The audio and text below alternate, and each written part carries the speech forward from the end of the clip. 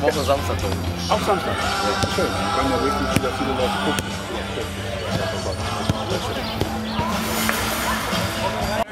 Zweite war auch abgewählt. Ja.